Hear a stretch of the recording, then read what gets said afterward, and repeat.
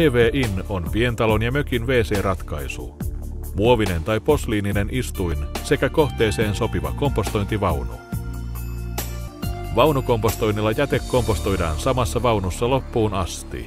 Tyhjennettäväksi jää kompostimultaa, joka on määrältään vain 2-3 prosenttia alkuperäisestä jätemäärästä. Sisävessan käyttömukavuudet edullisesti ja helposti mökille ja pientaloon. Tutustu koko valikoimaan. raita.com